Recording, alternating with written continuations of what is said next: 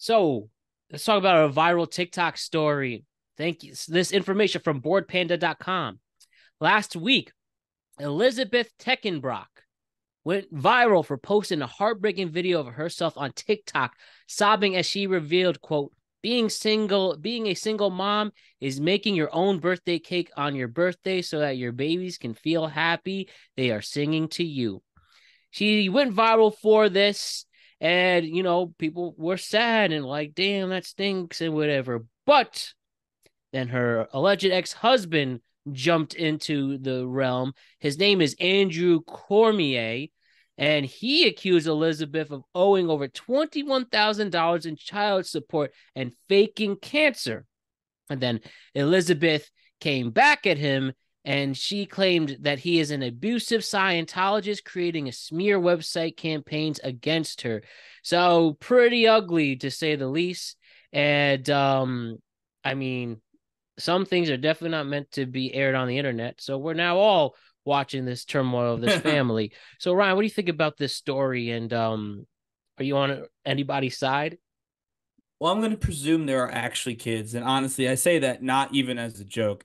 There was mm-hmm. a while where I believe that neither one of them has any kids and it's all made up. But I'm going to assume the kids are real for a second and say that neither one of them is fit to be the parents of these children. Like, what are you doing? And as terms of sides, I think everyone is bad. I don't have That's a side. and say. here's why. So, number one, you go to that first video. What are you doing recording that video? You had to set up your tripod, you had to put your phone on it, you had to hit record, and you had to start crying. You're presumably not crying when you did all this. Or, counterpoint, you are crying because you are lonely. And as you're crying, your th- head goes, I should film myself crying about this and put it on the internet. So either you're not really sad or you're really sad and are trying to use it to get go viral, which both of those are crazy. Yep. But then you look into this guy a little bit more, he's like 11 years her senior. And she's Weird. like 28 years old and has multiple kids with this guy. Huh. So, like, that means if she's got multiple kids, she's only 28. So she had to have them young. She had to have been married young. This dude is 11 years her senior. So if she's like 18 when she gets married, like, this dude's an old man compared to her. That's weird, right? Like, no one is talking about that, and I get that, but that's weird to, that that's a thing. And also, if he owes like if she owes him that much money, like what are you doing to work that out? I just I feel like there's ways to get that money, but he doesn't seem to be doing any of them. And then they both claim to have the kids, and you could just go to both their houses and see where the kids are. Like that's a weird thing for them both to claim the same thing about their kids. So at least one of them is completely crazy. Um, and I think that you're right. Some things don't need to be let out on the internet. Um, TikTok is what it is. Um, not everything you do needs to be on there. I would say. Um, and yeah, that's that. As far as the video though, like that got got was covered in Newsweek. That actually first video, like people are really and and I get that. Like there are regular people who might be on TikTok who really are sad because they are single moms who have to like put on a happy face for their birthday or whatever, um, for their kids. Like I get that, and I do feel for those those people. And if the video was helpful to them, then I suppose that's fine which just makes this dude reaching out because she didn't say this guy's name in the video, right? It's just it was her crying, making cupcakes. Yeah. And then this dude just jumped in and was like, "Nah, she's crazy." Like, I, we don't even know you. You could have been secret forever until you jumped in on your own TikTok to insert yourself into the story. Weird stitch and coming moment. Yeah, I'm like, I don't know. I wanted to be on. I wanted to be against this because I thought the initial video was so weird. Like, really, truly, I cannot comprehend in either scenario why she filmed herself crying while baking. But everything this guy did is just as weird as that. And so I don't know. I don't know who's right, who's wrong. I think that the the authorities probably need to check on those kids wherever they live. Um and yeah, that's where I landed on this. Everyone everyone on the internet gets a minus 10 points today because of uh these two. I mean, not to harp too much on a boomer take, and I'm not trying to general. You know, we real. It's fair to say we have definitely commented on Gen Z a lot. Maybe if you want to say criticize, that's up to you to say. But um, we've definitely had a lot to say about the generation under us. Some people may even say we are the oldest of the Gen Z generation, depending on who you're talking to. But do you feel like you know Gen Z? You know, YouTube's YouTube's old slogan was "broadcast yourself," Yeah. And it seems people are taking that so literally and like making. Con- I I don't get it either. Like people who make these very personal videos and using it as ways of content and quote unquote maybe you're trying to just cash in on it or this is your way to cope with what sadness you're dealing with like is this just a generational thing you know what i'm going through some real stuff right now i must let everybody know and if i hit a certain threshold i'll even get paid for it I wish that I believed that it was that, but it's it's not. It's just not because it's not a healthy outlet. So like if you and are by, that- i don't know i don't know of enough research if or if not to agree or disagree it's just you just often see it a lot Yeah, I mean, again, we're we're both talking from observations. Neither one of us is a. If you are what a sociologist or like a psychologist who studies this thing, yeah like, you know, message at T Tweetcap, reach out to Productive Conversations on all social medias. Let us know. We'll have Mhm. you on. We, I would love to talk about. It. We talk about this all the time, both on the show and off the show. But like to me, like it's not a healthy way to let that stuff out.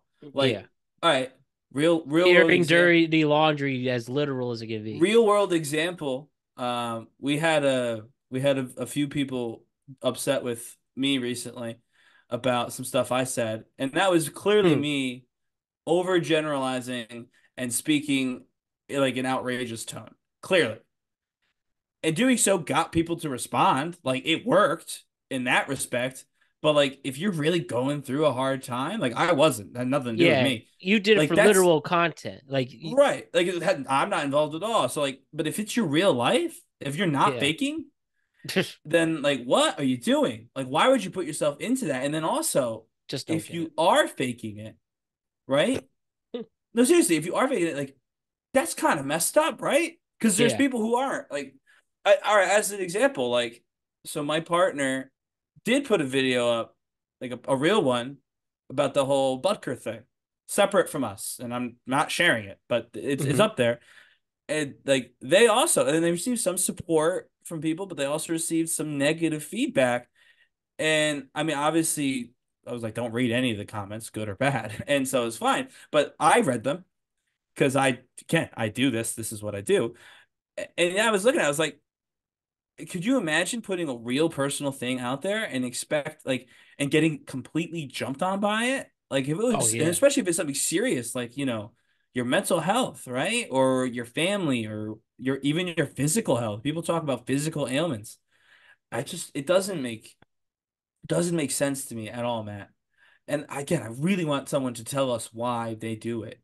Um, especially someone who does it a lot. It's one thing to do it once in a while, like to jump on to like a big trend or whatever. But like people who consistently do this, make content about themselves in this way, so raw, and like A, we want to know if, if it's real or not. And B, like if it isn't real, why did you choose this subject matter? And if it is real, how do you deal with the fact that half the people who see it are they don't clown even you? s- They're gonna clown you. No matter what you say, half the people who see anything online are going to be angry with you and Even- dislike you and make fun of you. That's just- even I was just saying, even in the most genuine moments, they'll still make fun. You could save, you could literally save somebody from a burning building. It's like, man, that guy's mad stupid for running in there. He should, or something like that, you know? yeah, or they'll comment how big your forehead is.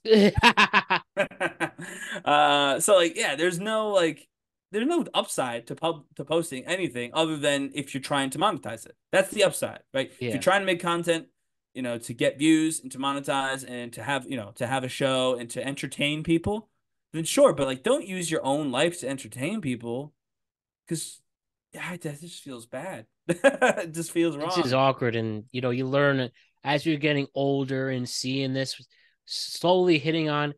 YouTube will be 20 years old next year.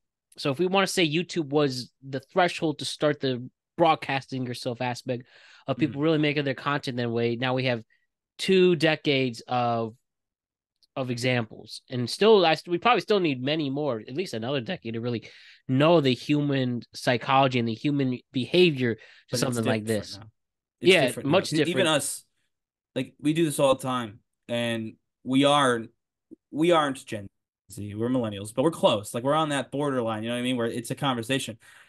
But even we, like, we grew up in a time where we constantly heard, like, don't post this, don't post Oh, that. yeah. Employer, right? Employers will see your socials, all sorts of things. We know, like, we heard all that. And by the way, I'm not saying that's not true.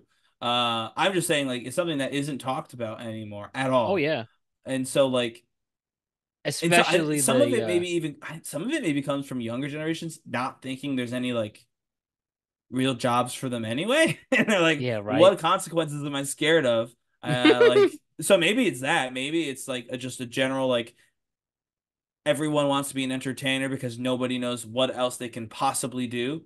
Um maybe it's that. I don't know. But like goodness you're right. It is different. After two after two decades you can see a clear clear difference. Like we have far more reservations about what we put out than people younger than us.